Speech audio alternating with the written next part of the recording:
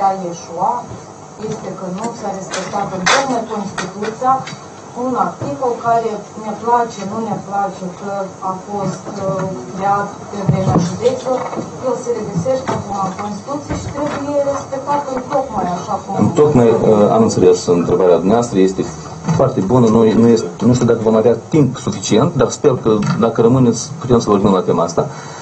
Referendumul. Articolul 141 din Constituția Republicii Moldova stabilește foarte clar. În redacția anului 2000, în care în Republica Moldova erau niște unități administrativ-teritoriale care se numeau județe.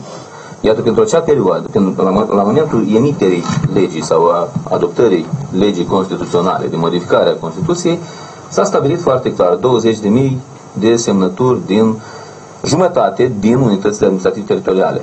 Asta ar fi însemnat 120.000 de semnături.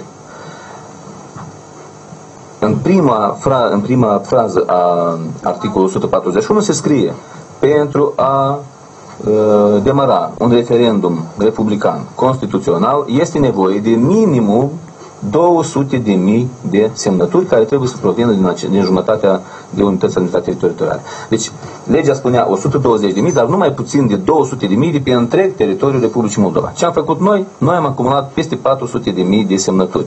Iată de ce, în spiritul Constituției, în buchea Constituției, referendumul republican, constituțional, prin care solicităm modificarea Constituției sub aspectul alegerii și demiterii președintelui de către întreg poporul, diminuării numărului de deputați și a imunității parlamentare, trebuie să fie validat de către Comisia Electorală Centrală, iar data acestui referendum trebuie să fie stabilită imediat potrivit hotărârii Curții Constituționale de către Parlament